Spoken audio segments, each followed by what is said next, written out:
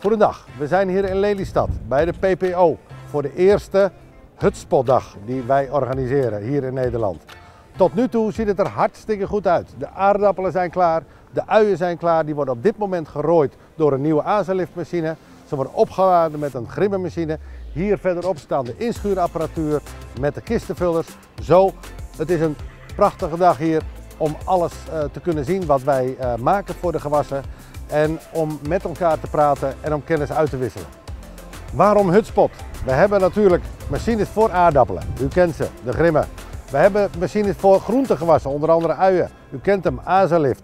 Demonstraties op het land, demonstraties hier in de schuur. Allerlei machines die u kunt zien. Het is de moeite waard. Een hutspotdag kan natuurlijk geen hutspotdag zijn zonder dat wij hutspot gaan eten. Hierachter bij de catering, daar worden kilo's en kilo's hutspot worden hier gemaakt met worst natuurlijk. Heerlijk eten. Het is nu 12 uur, we beginnen net. De eerste bezoekers die wandelen binnen. Uh, we gaan door tot 8 uur vanavond. Dus heeft u tijd, komt u maar.